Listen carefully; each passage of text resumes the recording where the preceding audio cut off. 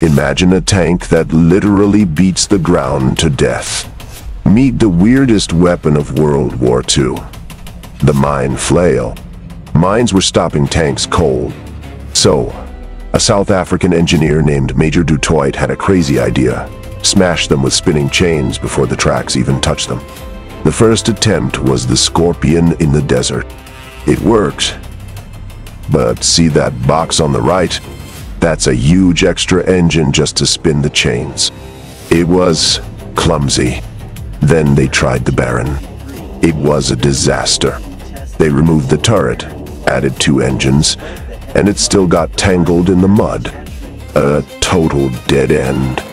The solution was the Sherman Crab. It kept the main gun for fighting, and added these jagged saw blades to shred barbed wire while clearing the path.